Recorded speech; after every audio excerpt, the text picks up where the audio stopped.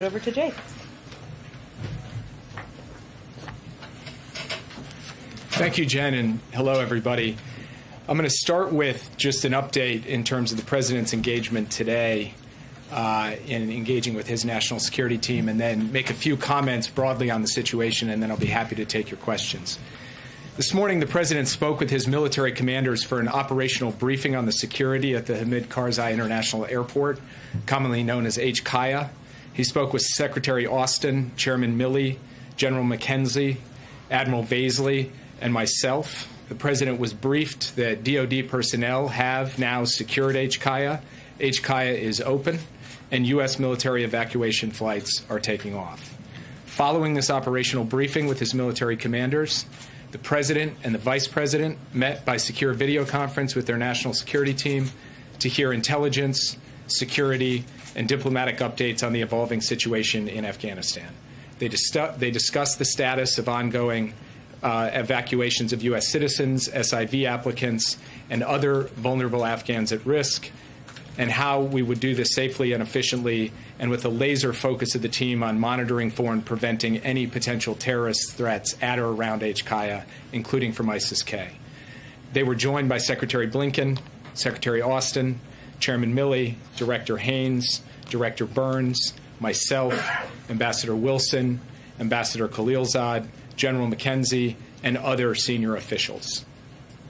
Just to say a few words about where we come from and where we are. I want to start by saluting our troops and our civilian personnel at the Kabul airport. I want to salute the Defense Department, the intelligence community, the State Department, the Department of Homeland Security, and especially our country team in Kabul who have been doing incredible work under very trying circumstances. They have safely and effectively drawn down our embassy compound and retrograded our diplomatic personnel. They have now secured the airfield and are conducting flights out of the country. They are moving American citizens, as well as Afghan nationals and third country nationals. They are facilitating flights for our allies and partners to get citizens and others out of Afghanistan. These operations will continue in the coming days as we move to evacuate American citizens and Afghan nationals who worked with us, along with other vulnerable Afghans. We are engaging diplomatically at the same time with allies in regional countries and with the United Nations to address the situation in Afghanistan. We are in contact with the Taliban to ensure the safe passage of people to the airport. We are monitoring for any potential terrorist threats, as I just mentioned, including from ISIS K. We intend to continue these operations over the coming days before completing our drawdown. When you work on any policy issue, domestic policy, foreign policy, any policy issue, the human costs and consequences loom large. And we're all contending with the human costs of these developments. The images from the past couple of days at the airport have been heartbreaking. But President Biden had to think about the human costs of the alternative path as well which was to stay in the middle of a civil conflict in Afghanistan. There are those who argue that with 2,500 forces, the number of forces in country when President Biden took office, we could have sustained a stable, peaceful Afghanistan. That is simply wrong. The previous administration drew down from 15,000 troops to 2,500 troops. And even at 15,000, the Afghan government forces were losing ground. What has unfolded over the past month has proven decisively that it would have taken a significant American troop presence, multiple times greater than what President Biden was handed, to stop a Taliban onslaught. And we would have taken casualties. American men and women would have been fighting and dying once again in Afghanistan, and President Biden was not prepared to send additional forces or ask any American personnel to do that over the period ahead. There have been questions raised about whether we should have drawn down our embassy and evacuated our Afghan allies earlier. These are reasonable questions. We did dramatically accelerate the SIV process and move out a substantial number of SIV applicants and their families. But the Afghan government and its supporters, including many of the people now seeking to leave, made a passionate case that we should not conduct a mass evacuation lest we trigger a loss of confidence in the government. Now, our signaling support for the government obviously did not save the government, but this was a considered judgment.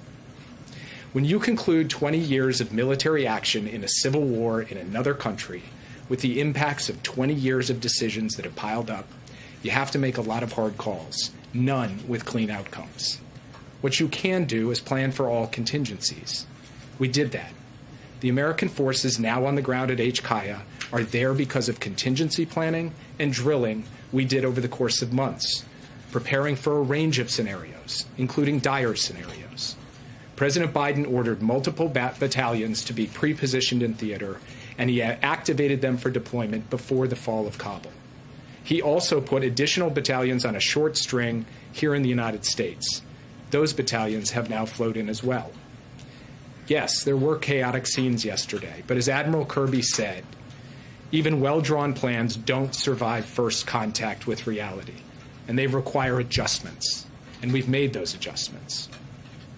We will stay in close touch with our allies and partners in the days ahead as we contend with the immediate need to complete the evacuation mission and as we deal with the broader challenges posed by the new reality in Afghanistan. And we will remain persistently vigilant against the terrorism threat in Afghanistan and in multiple other theaters across multiple continents.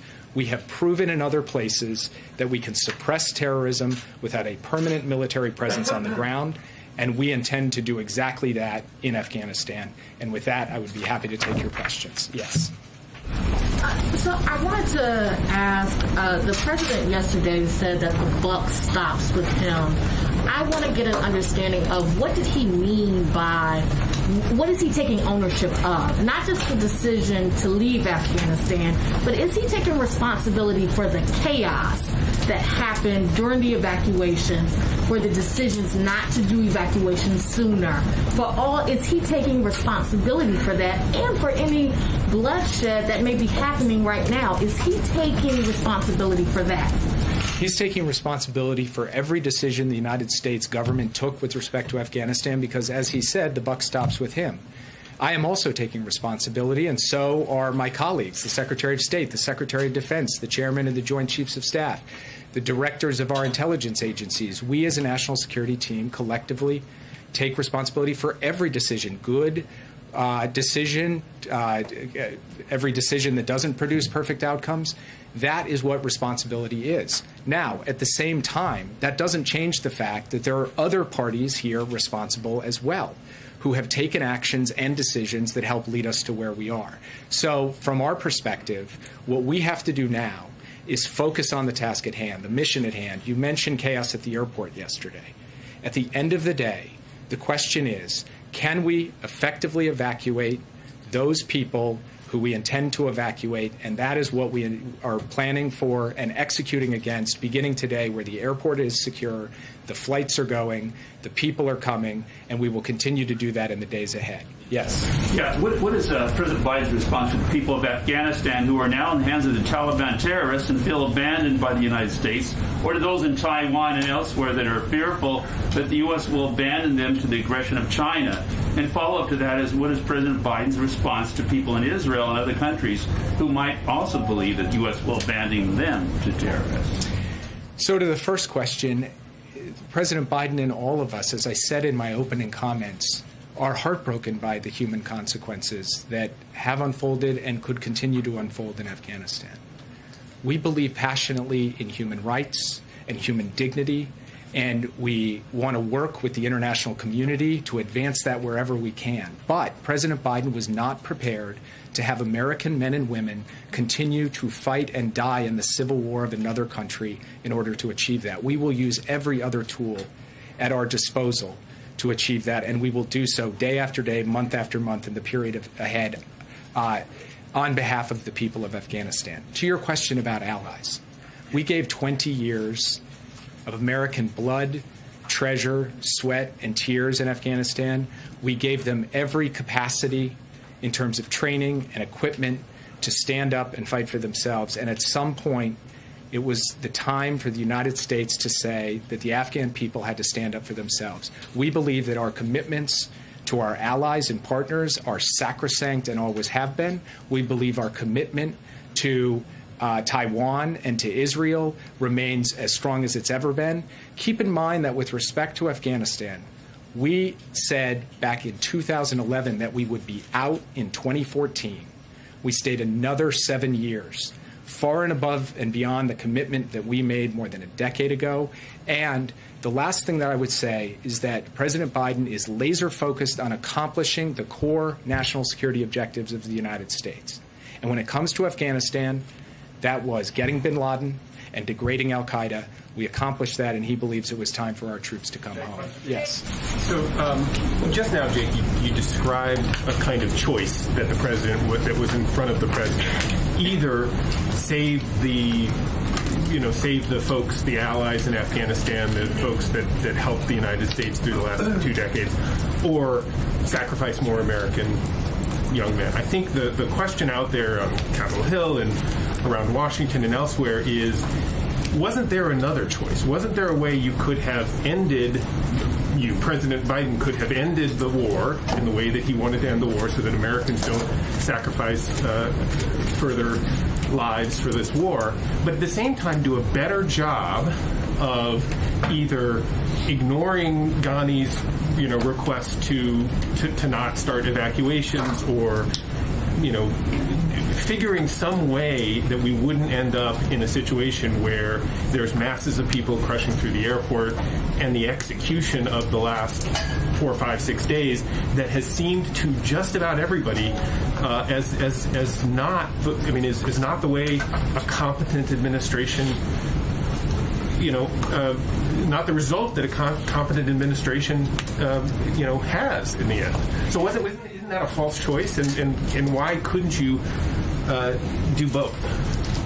So first, what I would say is that uh, we were clear-eyed going in when we made this decision that it was possible that the Taliban would end up in control of Afghanistan. We were clear-eyed about that.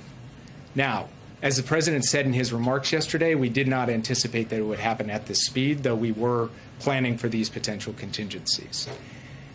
The reason I say that at the outset, that we knew it was possible they could take over, and that had to be built into our calculus in making the determination, as the president did, to draw down our forces, is because once the Taliban came into Kabul, we were going to be faced with a situation, no matter if there were still U.S. troops on the ground or no U.S. troops on the ground, of dealing with a significant number of people wanting to come to an airport to try to get evacuated. I'll give you an example.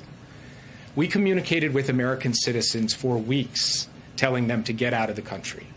We offered financial assistance for those who wouldn't be able to afford to get on flights themselves. Many chose to stay right till the end, and that was their choice. We now are faced with a circumstance where we have to help evacuate those. That's our responsibility as the U.S. government. But the point I'm making is that when a civil war comes to an end with an opposing force marching on the capital, there are going to be scenes of chaos. There are going to be lots of people leaving the country. That is not something that can be uh, fundamentally avoided. And so, while it is uh, a, a point for reasonable debate, in my view, as to how to think about the right moment to signal a complete loss of confidence in a government or not, and which is going to lead to more suffering and death or not. The fact is that we made the judgments we made based on the information we had at the time while preparing for the alternative contingency, which was having to flow in these troops to be able to get out folks in a mass evacuation. Yes.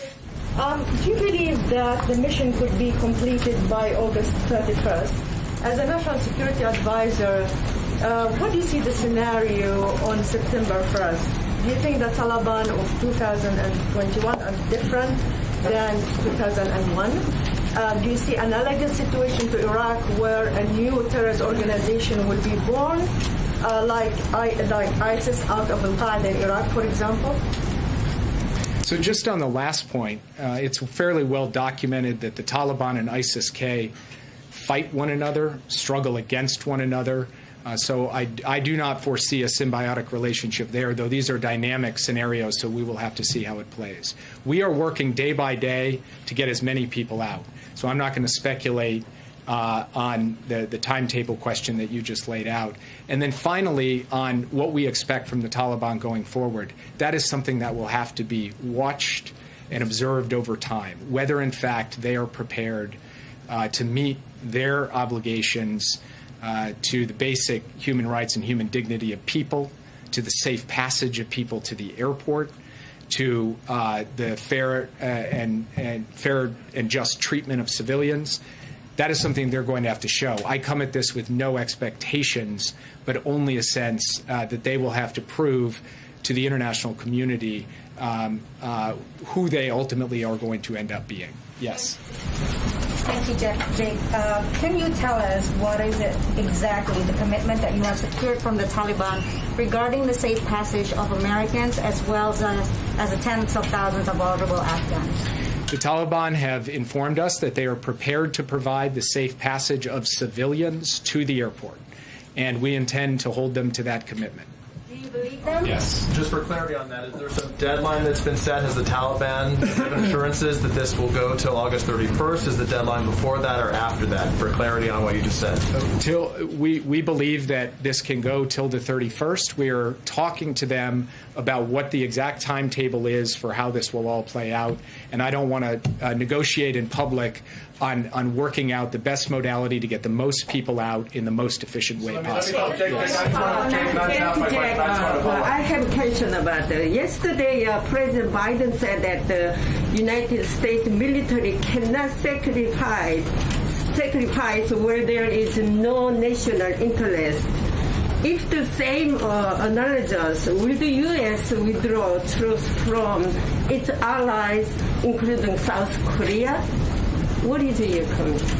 So the president, as he has said repeatedly, has no intention of drawing down our forces from South Korea or from Europe, where we have sustained uh, troop presences for a very long time, not in the middle of a civil war, but to deal with the potential of an external em- enemy and to protect our ally against that external enemy. So it is a fundamentally different kind of situation from the one we are presented with in Afghanistan. Thank you. The president yesterday said the situation in Afghanistan unfolded more quickly than anticipated. You said it yourself just a few moments ago. But numerous officials have told ABC that there were key intelligence assessments warning the Taliban could overwhelm the country and take the capital within weeks. Did the White House disregard that intelligence and push ahead? Uh, I'm not actually familiar with the intelligence assessments you're describing, uh, but I also don't want to get into um, specific intelligence products. And one thing I will not do from this podium or anywhere else is um, talk about what a different component of the interagency did or didn't do, because from my perspective, we are one team with one mission trying to execute and uh, do so in the best interests of our interests and values. So I will. Okay, sorry, the last two days, that mission is not complete by August 31st, and there are Americans and Afghan allies who remain there, will U.S. troops stay until everyone is out, or will they leave? So I'm not going to comment on hypotheticals. What I'm going to do is stay focused on the task at hand, which is getting as many people out as rapidly as possible, and we will take that day by So day. you can't commit to bringing back every American. Jake, to- you- There's a large number of there's a large number of Christian missionaries and aid workers that are particularly vulnerable because they're known to be Christians. Is there any plan to get them uh, to the airport and get them out? We are working with a variety of different types of groups journalists, aid workers, NGO workers, and so forth to help facilitate their departure from the country. Yes. Talk about these contingency plans. The President of the United States left the White House on Friday. When did your administration know that another 6,000 troops were going to be needed for this withdrawal? So on Wednesday evening, the president convened the principals. This is last Wednesday evening to discuss the deteriorating situation on the ground in Afghanistan. He posed the question as to whether we had to flow more forces in from the point of view of a contingency to draw down our embassy uh, and to secure evacuation. Thursday morning, he gave the order to begin flowing those forces in. And then, as we watched the situation unfold over the course of the coming days, uh, we determined that we would go from step one of that contingency plan, which was about 3,000 troops, to step two of that contingency plan, which was about 6,000 troops. Why did he leave the White House? On Thursday he knew, why did he leave the White House on Friday? The president worked throughout the entire weekend. I was uh, intimately familiar with his working habits over the course of the weekend because I was on the phone with him constantly. Secretary Austin was on the phone with him, Chairman Milley, Secretary Blinken, the team in country. So he was monitoring developments hour by hour throughout that entire time and has been making a series of decisions about troop deployments, uh, giving us direction and guidance about how to take the shape of this mission and make sure that we're executing it. And at every turn, asking our military, who is leading this mission and executing this mission with bravery and valor, what do you need? I will get you anything you need. He asked that question multiple times every single day. So President Biden has been deeply engaged in this. Yes. Jake. Sorry, um, um, there's a lot of anger in uh, Australia this morning um, about the way this has played out. Um, we've got citizens, and then of course so many Afghans who um, have helped the Australian forces and helping the US mission over the past 20 years. Um, does the administration accept some responsibility, or perhaps what would be your response to those people who are trapped and, and some are fearing execution because of the, the exit strategy, or perhaps lack of competent exit strategy? We do take some responsibility for our allies and partners in Afghanistan. In fact, as I said in my opening comments, we are working to facilitate flights and have already done so for countries that have lined them up and gotten their citizens to the airport. And we'll be eager to work with Australia to help get out Australian citizens and other uh, individuals who the Australians would like to see get out. Yes. Jake, what do you say to uh, the next generation of Afghan women and children, uh, young girls who face fundamentally different human rights moving forward? I, I say that truly, deeply, my heart goes out to Afghan women and girls in the country today under the Taliban. We've seen what they've done before. And that's a very hard thing for any of us to face. But this wasn't a choice just between saving those women and, and girls and not saving those women and girls. The alternative choice had its own set of human costs and consequences, as I said. And those human costs and consequences would have involved a substantial ramp up of American participation in a civil war with more loss of life, more bloodshed, families here in the United States who would be asking a different form of the question you just asked. These are the choices a president has to make. And it doesn't mean because we don't have forces in that country that we're not going to fight on behalf of women and girls and human rights and human dignity. We are. We do in many other countries where we don't have active military participation. And we'll do it in Afghanistan too. And we will attempt to use every measure of tool and influence we have, along with our international allies and partners, to alleviate the burden that those women and girls will face in the days ahead. We are absolutely, resolutely committed to that. yes. Recognize the Taliban as the legitimate governing power in Afghanistan now? Right now, uh, there is a chaotic situation in Kabul where we don't even have the establishment of a governing authority, so it would be really premature to address that question. Ultimately, it's going to be up to the Taliban to show the rest of the world who they are and how they intend to proceed. The track record has not been good, but it's premature to address that question at this point. Yes. That the Taliban is committed to safe passage to the airport, but our reporting is that they've set up checkpoints outside the airport. People are being beaten and whipped when they try and cross these checkpoints, and that some of the evacuation flights are leaving nearly empty as a result. What assurances do you have specifically about these checkpoints, and when do you expect them to stop doing this? So, two things about that. First, uh, the earliest evacuation flights in any evacuation tend not to have uh, every seat filled because the process of getting any evacuation underway has a throughput issue. So we believe that that is being resolved with each successive flight, and we will be putting 300 passengers on your average military cargo plane heading out of the country, one after another, hot onloading and hot offloading. Second, in terms of people being turned away, by and large, what we have found is that people have been able to get to the airport. In fact, very large numbers of people have been able to get to the airport and present themselves.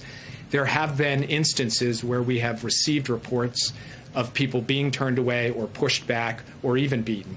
We are taking that up in a channel with the Taliban to try to resolve those issues.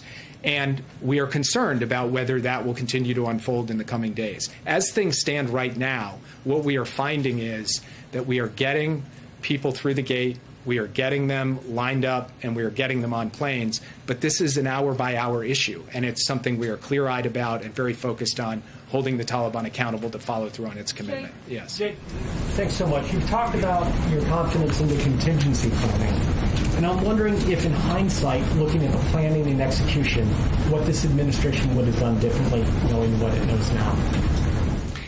It's a good question, and it's one that we will conduct an extensive hot wash, uh, as we say. We will take a look at every aspect of this from top to bottom. But sitting here today, I'm spending every hour I have focused on how we execute the mission we have before us, which is getting all of these people out. Yes. Okay, two questions for you. One, has the president spoken to any other world leaders since Kabul fell to the Taliban? Sorry, I was looking at the wrong person. Uh, he has not uh, yet spoken with any other world leaders. Uh, myself, Secretary Blinken, uh, several other senior members of the team have been engaged on a regular basis with foreign counterparts, and we intend to do so in the coming days. Right now, the main issue is an, an operational issue. It's about how we coordinate with them to help them get their people out. And we are operating through uh, logistical channels and policy channels to try to make that happen. And Jake, yes. just to follow up on that, you just said that you will Sorry. conduct a review of what went wrong here on the U.S.'s response. I know you said there are other additional factors like what happened on the ground in Afghanistan that led to this. Will you publicly disclose what went wrong and who misjudged the intelligence here over how quickly the Taliban could take over? So first, I didn't describe that we were doing a quote "what went wrong" review. What I said is we'll do a hot wash. We'll look at everything that happened in this uh, entire operation from start to finish and the areas of improvement where we can do better. Where, where uh, we can find holes or weaknesses and plug them as we go forward. And of course, uh, we intend, after we've had the opportunity to run that analysis, to share that with people. Yes. Thank you, sir. Um, you noted that you had encouraged Americans on the ground there to leave and that many chose not to. I just wanted to follow up on, on Weijia's question. Uh, will the U.S. government commit to ensuring that any Americans that are currently on the ground in Afghanistan get out? That's what we're doing right now. We have asked them all to come to the airport to get on flights and take them home. That's what we intend to do. Yes. Former, uh, former officials from multiple administrations, the Obama administration, the Bush administration, have said they are certain Afghanistan will become a safe haven for terrorists. I know you and the president have disputed that. What do you think those officials are getting wrong? And can you ensure that Americans are safer today because of your actions than we were several months ago? I want to be very clear about what our position is. Our position is that we are going to have to deal with the potential threat of terrorism from Afghanistan going forward, just as we have to deal with the potential threat of terrorism in dozens of countries in multiple continents around the world. We have to deal with the threat of terrorism in Yemen and Somalia and Syria. We have to deal with the threat of terrorism across the Islamic Maghreb. We have to deal with Al Qaeda and ISIS K. And we have to do so using a wide variety of tools intelligence capabilities, defense capabilities, and yes, in some cases, the support we can provide to local partners to help them deal with the challenge. And what we have shown is in many of the countries I just mentioned, among others, we have been successful to date in suppressing the terrorist threat to the U.S. homeland in those countries without sustaining a permanent military presence or fighting in a war. And that is what we intend to do with respect to Afghanistan as well. So this is not a question about whether we're clear eyed about the terrorist challenge from Afghanistan. It is about whether the terrorist challenge in 2021 is fundamentally different from the ter- terrorist challenge in 2001. We believe it is fundamentally different, and we need to be postured effectively to deal with the terrorism challenges we find it today as opposed to 20 years ago. Um, just wondering, can you shed light on the decision to leave behind Blackhawks and other equipment? How that fits in with the contingency plan the U.S. had? Leave behind.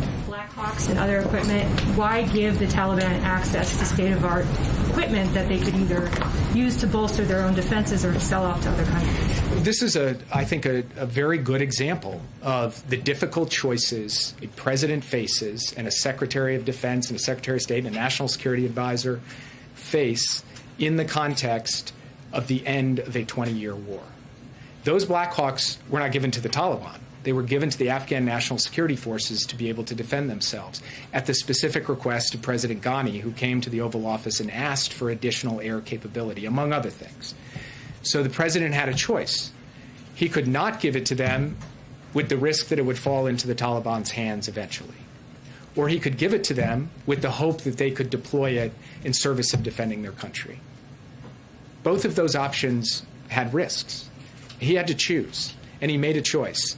And from the point of view of that, uh, particular narrow example to a, fo- a much wider range of examples that we contend with. At the end of the day, what the president has focused on all the way through here is trying to take the information that's been presented to him, the risks, costs, and benefits, and make decisions that were in the best national security interests of the American people. He has tried to do that. He talked about that at length yesterday. Uh, and from that perspective, he believes the decision he made in this context was the right decision. Yes. Thank you. Um, the president has not been shy about undoing many of the previous president's policies, many of them.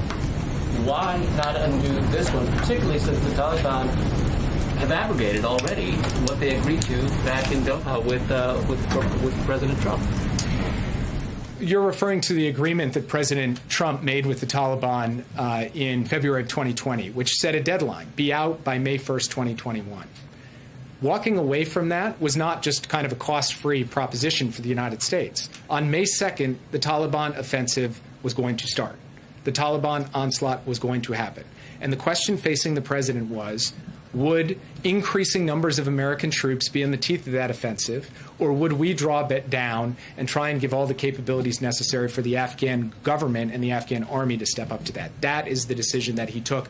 That is the situation that he was placed in with a mere 2,500 troops in country when he took over. This was a choice between dramatically ramping up forces to fight or drawing them down to end our military involvement, and that's the choice that he made. Yes. The president said yesterday that he urged Afghan leaders to engage in diplomacy and seek a political settlement with the Taliban, but, quote, this advice was flatly refused. Does the president feel he had a willing partner in President Ghani? Look, I would just say the president was reporting the facts as they unfolded. I'm not going to characterize anything about President Ghani at this point, who is no longer a factor in Afghanistan, and I don't think there's much merit in, in me weighing in more deeply on him. Yes. Mr. Sullivan, sorry to labour the point here, but we're speaking to Afghan citizens who supported the American mission in Afghanistan, who are now terrified for their lives. Can you confirm that when it gets to August 31st and your troops leave, will you abandon them or will you stay and save them?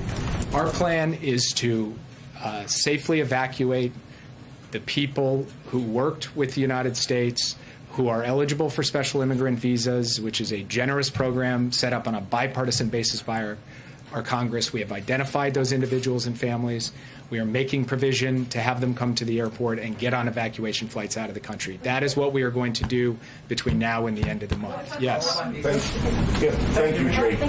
Um, one question going back to President Ghani, uh, have any top officials of the Afghani government, the former Afghani government, made requests for asylum in the United States? And would President Ghani and Vice President Abdullah, among others, be welcomed in the U.S.? I'm not familiar with any such requests, and I'm not going to get into hypotheticals. Yes. Jake, uh, with the president at Camp David, can we, the American people, expect to hear from him in the coming days as the operation to get people out continues? Uh, I'll leave it to Jen to answer that, but yes, you will hear from him in the coming days. Yes. President, thanks for taking my question. President Biden was expected to repair the damage caused by the previous administration to the NATO. The way the withdrawal was carried out added new strength to the alliance. How severe is this damage, and what you would tell your allies? President Biden has a long and deep history of solidarity and commitment to the NATO alliance. His uh, commitment to Article 5 is rock solid and sacrosanct. We just had a very successful NATO summit where we committed to a new strategic concept and a new way forward on the emerging threats we're going to face. He believes in his personal bonds with the leaders of NATO, and he believes in the institutional bonds between the United States and NATO. And I would just note also that our Secretary of State and our Secretary of Defense went uh, to repeated ministerial meetings at NATO for consultations on this decision and ultimately secured an agreement of the North Atlantic Council for it to be carried out uh, along the timetable that was laid out. All of the allies uh, signed up to that. What the president also committed to was making sure that every last NATO troop on the ground in Afghanistan and there were more NATO troops in Afghanistan than American troops when Joe Biden took office, would get out safely and securely without incurring a single casualty, and he executed that. And then finally, he's committed to facilitating the flights of our NATO allies and partners to get their civilians out and to get others out. And he is in the process of doing that. In fact, uh, planes from NATO countries have landed and taken off with their personnel over the course of the past 24 hours. I think your uh, your previous answers is, are not enough to assure uh, U.S. allies and partners because first Korean War broke out as a civil war. If US, the United States commit only to places that uh, without civil war, how can you ensure allies that the United States will defend them in a crisis that can describe as a civil war? For example, if the People's Republic of China attacks Taiwan, the uh, Chinese can argue that it is a civil war among the Chinese, uh, and how can you just uh, uh, how can you justify the U.S. involvement in Taiwan and South Korea? And, and, I also understand the United States did not want to make a sacrifice, but at the same time, leadership requires sacrifice. And how can you uh, just claim to be a global leader without making sacrifice? So I want to start where your question ended.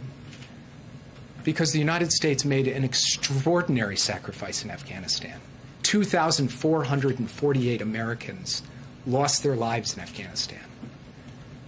Tens of thousands of Americans were injured in the war in Afghanistan over 20 years, trying to help that country stand up and being able to defend itself.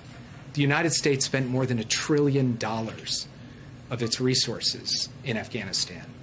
The amount of sacrifice and solidarity and commitment to Afghanistan to trying to give it a chance was immense. And it wasn't just the United States. Many other countries joined us and had their own sacrifice. Excuse me. Let me let me just let me just finish answering the question.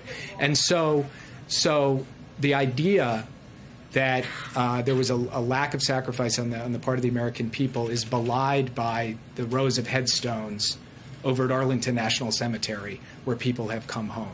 When it comes to Taiwan, it is a fundamentally different question uh, in a in a different context. And so, from our perspective, what we need to focus on.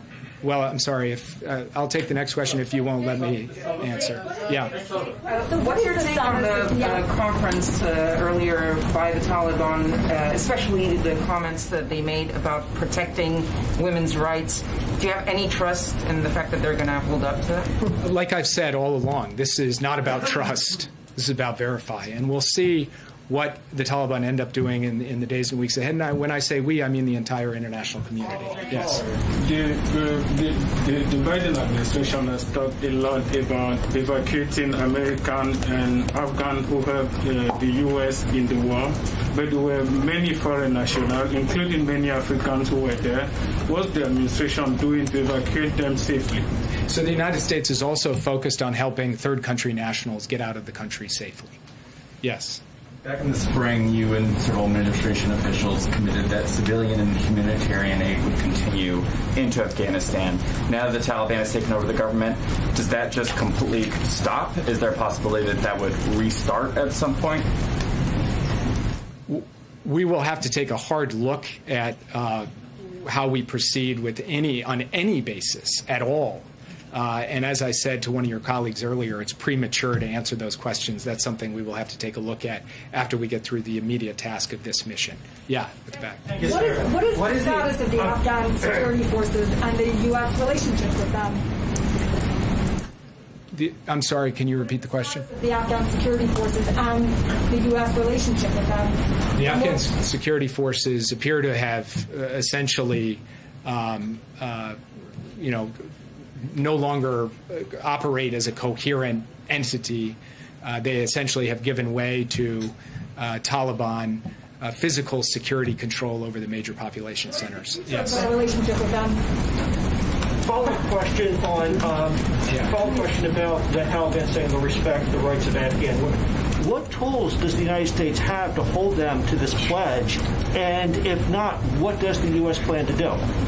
So, standing here today, um, I am not going to go into the full panoply of things that we can do, but there are um, obviously issues re- related to sanctions uh, to uh, marshaling international condemnation, condemnation and isolation, and other steps as well. But the reason I don't want to go into great detail on it is I want to be able to have our team communicate directly to the Taliban both um, what the uh, the costs and disincentives are for certain types of action and what our expectations are. That is a conversation that we will intend to have, and I think many other countries, including like-minded allies and partners, will be having that as well. Yes. Thank you, sir. President Biden said that there were very few national security interests for the United States in maintaining some peace in Afghanistan. Could, would you actually reiterate that today? Would you say that there is no interest for us having some presence on the borders of Iran, on the borders of Pakistan, on the borders of uh, uh, near China? Would you or Tajikistan? Would you say that we're that we should just give that up? I would say that the president does not believe that the United States should be fighting and dying in a war for the purpose of sustaining American military boots near Tajikistan or Pakistan or Iran. No, I would say that that is something uh, that is not could, we, we, what you just laid out as a national security interest, we would not agree that it is right to ask American soldiers to risk their lives for the purpose of maintaining a presence near Tajikistan. Yes. Thank you. Um, what happens to the billions dollar of dollars worth of weaponry that the U.S. gave Afghanistan? Does the U.S. have a plan for that, or does it remain in the Taliban hands? We don't have a complete picture, obviously, of where every article uh, of defense materials has gone, but certainly a fair amount of it has fallen into the hands of the Taliban. And uh, obviously, we, we, don't have a sense that they are going to readily hand it over to us at the airport. Yes. Uh, thank you, Jake. Has the president seen these images of what looks to be people flying off an airplane yesterday? And then what was his reaction to those images? The president, uh, as he said in remarks in his remarks yesterday, uh, has uh, seen th- these images are heartbreaking. And as I've said repeatedly today, the human toll of the end of this conflict in this way is real and it's raw. And it's hard for any of us. You guys are journalists. I work in government, but you know, we're also people. And and this is this is tough stuff. There's no doubt about it. But these are hard choices too. And at the end of the day, the president had to make a hard choice about whether to avoid some of those human costs. The United States con- continues to send thousands of troops to fight, and some of them die and take casualties. That is the decision that he was not prepared to take. Yes. Thank you, Jay, for the question. I just want to get your reaction to the Special Inspector General report on Afghanistan. I know this was planned before the fall of Kabul, but I just want to get your response to that. And also, how are you going to ensure that Americans and other people, the refugees perhaps, have safe passage to the airport? I know you talked about securing the airport, but how are you going to ensure that they can actually get there?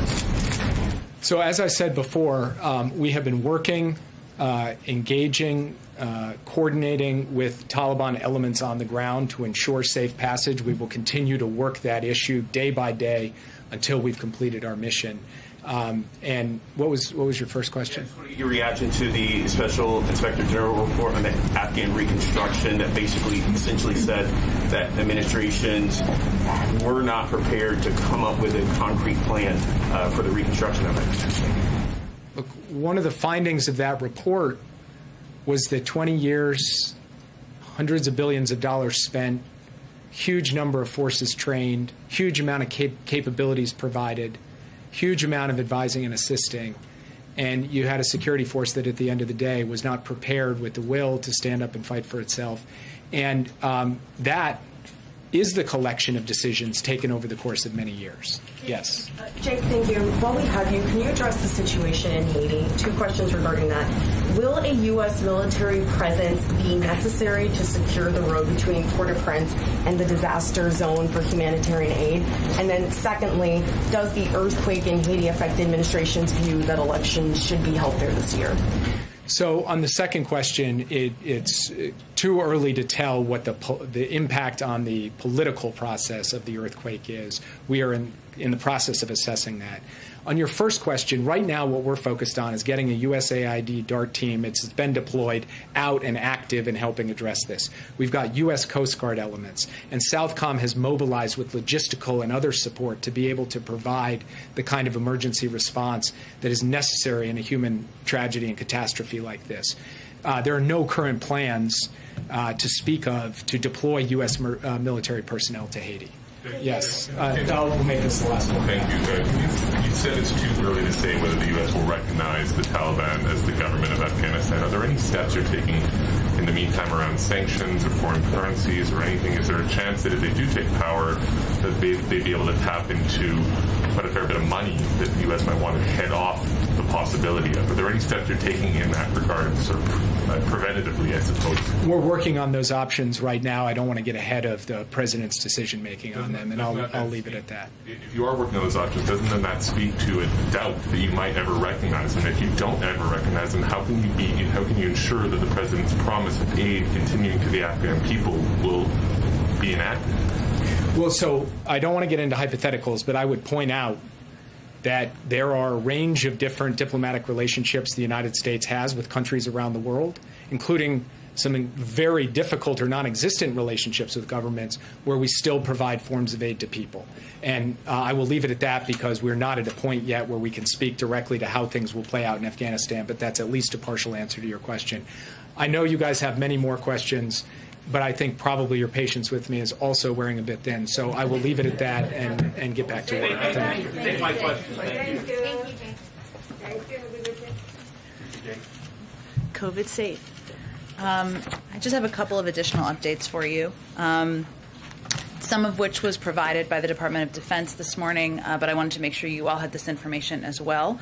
As you may have seen, the airport, and as Jake noted, is currently open for military flight operations as well as limited commercial flight operations. And throughout the night, uh, nine C 17s arrived delivering equipment and approximately 1,000 troops. Additionally, seven C 17s have departed. These flights lifted approximately 700 to 800 passengers, and we can confirm 165 of these passengers are American citizens.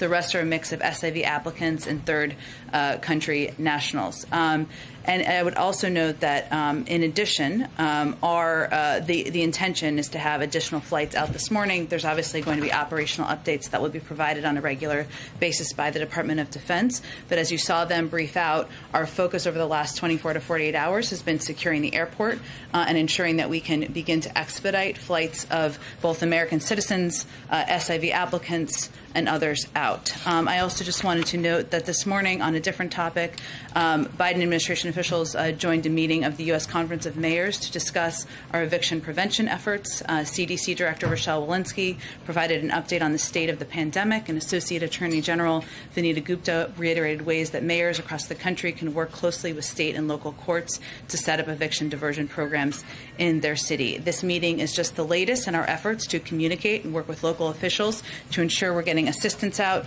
to keep people in their homes. I know we've been here a while, but I know there are lots of topics out there. Go ahead, Josh. Uh, thanks, Jen. Uh, with regard to the booster shots, uh, how many shots does the U.S. have available for boosters?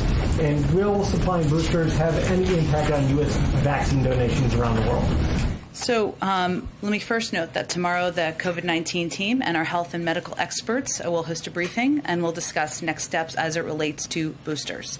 I would also uh, note for your uh, planning that you can expect to hear from the president on this topic as well uh, following their briefing. So I will leave it to them to provide additional details uh, and to answer what I know are your good questions about data and an understanding of what leads to decisions along those lines. On the supply uh, component of that, I'm sure they will address that, Josh. But one of the things we have said repeatedly, and I will note, I said back in May, Jeff Zients said again in July, is that part of our operational focus was ensuring we had enough supply to provide booster shots, should that be a decision made by the FDA. So that has been in our planning processes for months now, and certainly we've uh, planned for this contingency, and we'll wait for a formal announcement.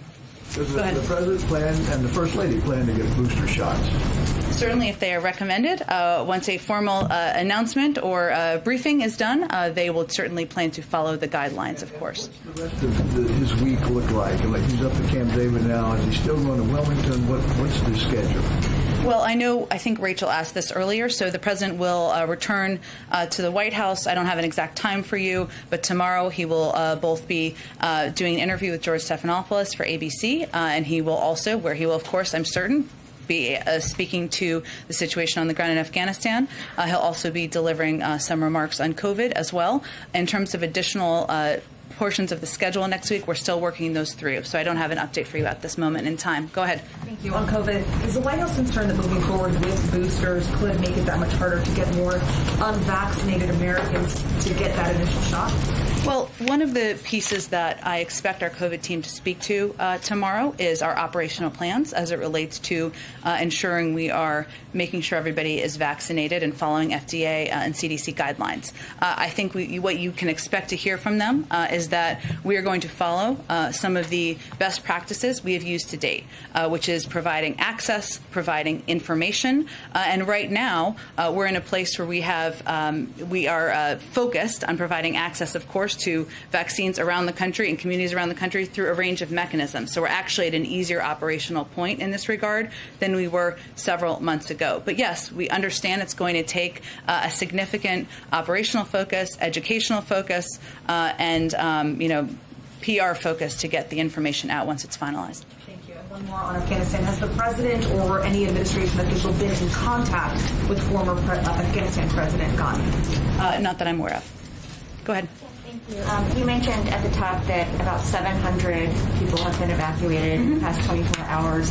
Pentagon officials, including Press Secretary John Kirby, uh, expect that number to increase to five to 9,000 a day. Can you talk about what needs to happen between now and then to ramp the number up and when you expect to hit it? Sure, Weijia, it's a good question. I think what uh, what I had been referring to just a few minutes ago was the fact that our focus uh, has been on securing uh, not just the perimeter of the airport, but also operational capacity at the airport, which of course is a Department of Defense uh, operation they're overseeing uh, in coordination with the State Department. And so, uh, because we've had success in that regard, we are uh, hopeful and expect to expedite additional flights out. So that was not the place where we were at this time yesterday. And given we've made progress in this regard, uh, we are hopeful to uh, increase the number of people, American citizens, SIV applicants, and others that we can get out of the country. Our understanding that Americans have been called to the airport, but it's up to them to travel there at their own risk. Um, why isn't the U.S. providing any support, any transportation for them to get to Kabul? Well, I would just go back to what our national security advisor uh, discussed as it relates to uh, the Taliban and discussions with them about safe passage for uh, people who are coming to the airport. We've also seen, uh, I don't have an exact number for you, I'm sure the Department of Defense and State Department can provide that, but a large number of American citizens and others making their way successfully to the airport over the course of the last 24 hours. Just one more. I know we all tried to ask Jake this question, but can you offer any guarantee to the Americans and Afghan allies that if they remain there past the end of the month, U.S. troops will help them evacuate well, past the end of the month. Weijia, our, our focus right now is uh, on doing the work at hand and on the task at hand. And that is day by day getting as many American citizens, as many SIV applicants, as many members of a vulnerable population who are eligible to be evacuated to the airport and out on planes. Uh, and we're going to do that in an expeditious fashion. That is the focus of the President, of our Secretary of Defense, of our Secretary of, of State, uh, and everybody on our national security team. Uh, so that, that is where we will keep our efforts. Go ahead.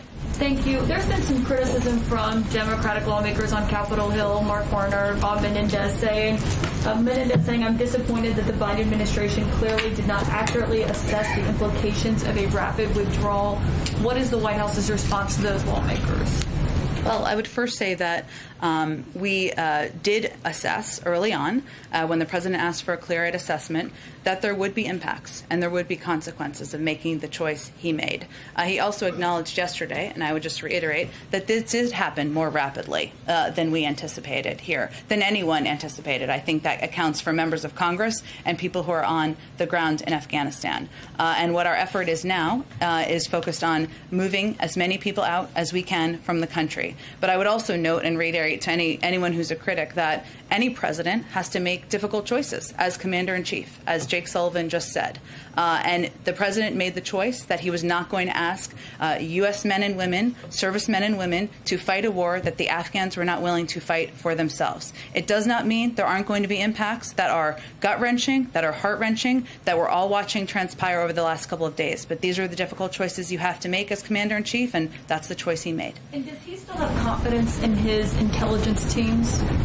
Uh, he certainly does. He works in lockstep, uh, and he's been briefed on a regular basis, as Jake just outlined, multiple times a day sometimes by members of his national security team, uh, and we're working in close coordination to get the job done each day. Go ahead. Um, sort of follow up on Caitlin's uh, questions about uh, criticism from people who are your allies or your friends. Uh, David Axelrod has called you uh, the best press secretary in his lifetime, I think. Uh, My mom would like that. Okay, um, but he's also said that the events of the last weekend are, in, I mean, this is paraphrasing here, but indefensible. I think he said you can't defend them, and he has basically said that you guys should acknowledge that it was a failure and and be willing to say that the events of the last several days were a failure, um, even as you maybe you know defend the the the broader question of the drawdown in Afghanistan. Why aren't? What, what do you say to David Axelrod, um, who is such a fan of yours? Mutual. Um, there are a few people I respect as much as David Axelrod in the world of politics. Uh, he's brilliant. He's also a great human being. But he would be the first to say uh, that there is a difference between being on the outside uh, and speaking on television and being on the inside, and the difficult choices that you have to make. Um, and uh, as I've noted, and as Jake noted, um, even as we're watching uh, over the last couple of days, um, heart wrenching, gut wrenching uh, footage, photos. You referred to some of them, Mike. Um, the president stands by his decision because he knows it's the, in the interest of the United States, our national security, and the American people. And he is going, not going to ask mothers and fathers to send their children to fight a war the Afghans won't fight for themselves. Uh, and that does not mean uh, that there aren't chaotic moments. There are. There does not mean there aren't moments that we may look back and, uh, you know, take a look at uh, approaches and, and, how to address things moving forward. Of course, that's a part of how you assess governing and how you assess operations moving forward. But right now, uh, and he would be the first, he, he spent, as you all know, uh, an important role, a vital role, uh, advising uh, President Obama to acknowledge that when you're in government, uh, you're faced with difficult choices. The president is faced with difficult choices, so are members of his team. And what you have to always make the decisions based on is what's in the interest of the American people. Go ahead. Does the president believe that his orders were executed as intended? In, in these past couple of days, obviously those images that we've all seen, I, I mean, is he assessing blame at all for for that? And, and is he just does he feel like he ordered the military to do certain things and they did it as intended?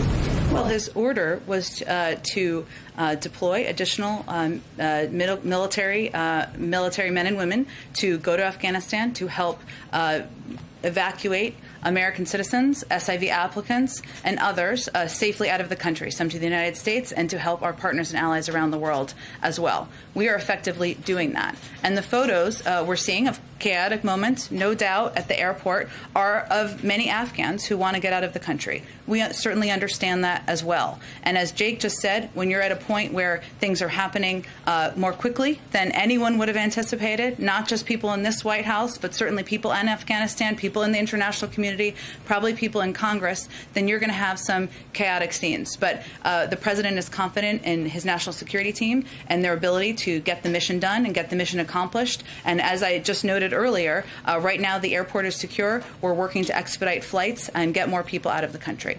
Just, just to follow on, um, the, the, president has been quite clear that he does not have uh, any trust in the Taliban. Um, and so I, I, I, guess Jake kind of went about this in a couple different ways, but do you guys have any assurances that the Taliban is clearing the safe passage to, to the airports? And what are the consequences to them if they do not? Well, the, the consequences are the, the full weight and force of the United States military, and I think we've made that clear.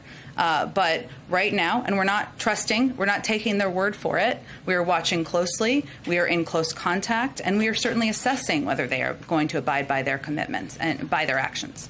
Go ahead. How many Americans are in Afghanistan, both inside Kabul and outside Kabul? And should they get priority on evacuation flights? Uh, John Kirby said that it's going to be a mix of SIV applicants and Americans, but should those Amer- remaining American citizens get priority, and how many are there in the country right now? Well, we are prioritizing uh, a, a number of groups American citizens, embassy employees and their families, our locally employed staff, SIV holders and applicants, Afghans who would be eligible for P1, P2 refugee programs, which includes, by the way, translators who may have assisted media organizations and others. Uh, we are, uh, there have been, uh, how the process works, I should tell you, is that there are individuals who will self identify as American citizens. That number is around 11,000. Um, beyond that, around the country. Um, beyond that, though, there are individuals who may not have self identified, who may come and re- request assistance and come to the airport. We're going to work to assist, of course, American citizens, but we also have a responsibility and obligation uh, to help uh, the men and women who, or, who served by our sides, many of your, the sides of your colleagues uh, as translators and as interpreters, and our locally employed staff and others. So just to confirm, 11,000 in the entire country, not just in Kabul? Well, I would just say there, that's the self-identified number, right? So, but we will continue to provide assistance, and uh, we are prioritizing American citizens. We are also working to get additional uh, officials out who have played an important role. Just to follow up on, on this, obviously getting them through and getting them to the airport is the challenge, as everyone else here has noted. Um, but the administration is left to negotiate with the Taliban, including uh, one of the commandos who was released from Guantanamo Bay as part of the Bo Bergdahl prisoner swap when President Biden was vice president. How does he feel about that? Does he have any regrets, and, and how is how's he digesting that? Well, first, I would note that um, one, I'd go point to the Department of uh, the uh, intelligence community to assess the identity of the individual. I know there's been reporting on it, but that's not my position to do from here. I would also note that in prior uh, negotiations and commitments made during the Trump administration, there were thousands of individuals who were released. Um, so uh, our focus right now is on, again, not taking the Taliban's word for it. Uh, we are assessing, we are closely watching, and we are being very clear about the capacities and the capabilities we have at hand should they be needed. Of course, that's not our objective. And then the last question what are, what are we doing to counter message um, with what's happening right now with China in Taiwan? Um, the president said yesterday that China and Russia would love nothing more than to have the U.S. sink billions of dollars and stay here forever, but it seems to be that they're celebrating this. They were touting um, U.S. humiliation in Afghanistan and a warning to Taiwan and other allies that the U.S. won't come for help if war breaks out. China's embassy is functioning as normal. So what are we doing to uh, counter their propaganda, and how does the administration view Russia and China's engagement with the Taliban? Well, uh, first, we of course are in touch with the Chinese and the Russians uh, as we uh, as we work to uh, bring men and women out of Afghanistan, uh, and uh, including our SIV applicants and others. Um, our message is very clear. we stand by, as is outlined in the Taiwan Relations Agreement, by our, our by individuals in Taiwan. We stand by partners around the world who are subject to this kind of propaganda that Russia and China are projecting, and we're going to continue to deliver on those words with actions. Uh, our objective in Afghanistan is to uh, deliver also on what the president promised, which is to not put the men and women who have served our country bravely over the past 20 years in harm's way again. Uh, and that's what we'll also be projecting to them as well. Jen, why was August better than, say, November or December to be getting out? In terms of the August 31st timeline? Correct, because this is the Taliban fighting season, and that would not be.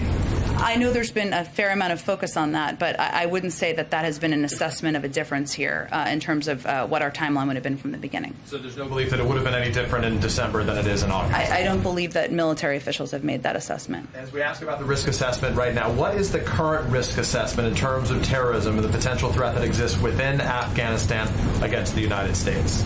Well, I, I, think as the president uh, conveyed yesterday and also conveyed back in May, part of our objective here was to make sure we had the resources to fight the counterterrorism threat that has changed over the last 20 years, wherever it is. Uh, and that has not been emanating from Afghanistan in the way that it was uh, two decades ago, which is understandable. Uh, we have a range of capacities, over the horizon capacities, uh, as well as capacities where we uh, do effective counterterrorism operations in countries where we have absolutely no presence in any way at all. We will continue to watch closely, continue to assess, uh, but I'm not in a position. I'll leave that to our intelligence community to provide an update on. Go ahead. You said just a little bit ago that you know if the Taliban does not agree to these safe passage agreements or conversations, that the consequence would be the full force and weight of the U.S. military. What exactly does that mean? Does that mean there's a scenario where we go back in? That means that we have been clear, and I think my colleagues at the Defense Department have also conveyed this, that um, we uh, have our own capacity, military capacity from here. Obviously, we have uh, worked with them uh, to ensure safe passage. That's where our objective is. I'm not going to outline or detail it further.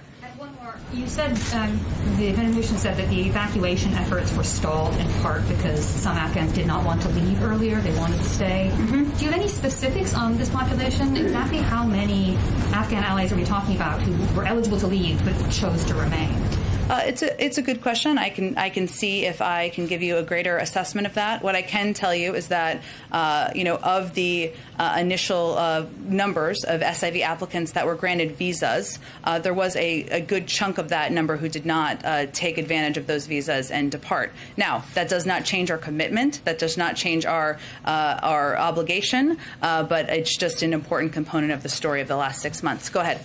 11,000 you mentioned, just for clarity, those are 11,000 self-identified people in the country not who want to leave. Do you have any indication of how many Americans are still trying to get out of Afghanistan? I can see if there's a greater assessment. I would point you to the State Department on that, though. They'd have the most up-to-date numbers. Total number of people overall, including uh, third country nationals and Afghan nationals, who you want to get out over the coming days? Uh, again, there are a number of prioritized programs. Uh, I think we've uh, given out some numbers in terms of if you look at SIV applicants, we have about 22,000 spots at military bases here, an additional 8,000 in third countries. Uh, obviously, we're going to work uh, to assess and make sure we get, and we work to get as many people out as possible who are eligible for those programs, as well as, of course, separately, American citizens. But I don't have a number or an update for you on the total sorry, I know they're going to announce this tomorrow, but are we talking about booster shots for everyone? And if so, why should uh, you know healthy young Americans be getting a third shot when so many in the world don't have a first shot yet? Well, they will pro- provide a briefing tomorrow on what the recommendations are, and I encourage you to ask a question, as I'm sure you will ask a question at their briefing, Josh, as you've been following this closely. I'm not going to get ahead of their announcement or the president addressing this tomorrow, uh, but I will tell you that we believe that it, that is a false choice. Uh, we can do both, and the United States is far and away the biggest contributor to the global supply, the global fight against COVID. We will continue to be the arsenal for vaccines around the world. We also have enough supply, uh, and we have long planned for enough supply should a booster be needed for uh, the eligible population. Um, go ahead. Thanks. Um, the National Security Advisor said when a civil war comes to an end with an opposing force, force marching on the ground, there's going to be scenes of chaos. There's going to be lots of people leaving the country. But my question is, why didn't you have a better plan to secure the airport? How could you not anticipate crowds of people rushing to the tarmac um, and overwhelming limited security if there was a contingency?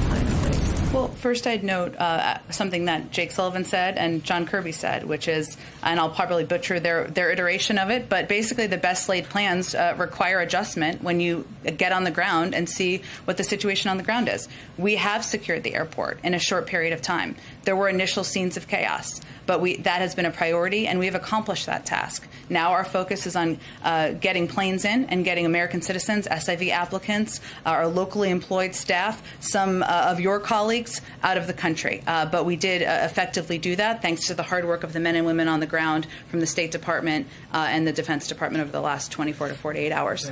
Okay. Oh, let me. I called on you. Just let me do one more. Uh, thank you. Uh, just two quick questions. I want to follow up. Uh, Jake said that the president had not spoken to any other world leaders yet. Why is that? Jake also said that our focus right now has been on operational uh, efforts, which includes coordination at a lower level than than leaders and heads of state, uh, and that is our focus on working with third countries to help get their citizens out, uh, or uh, of course working with uh, uh, others on the ground to to get um, vulnerable populations out. That's where the focus is at hand right now. And if there is a benefit in the president picking up the phone and calling world leader, he will certainly do that, and I expect he will do that in the coming days. Thanks so much, everyone. Have a great day.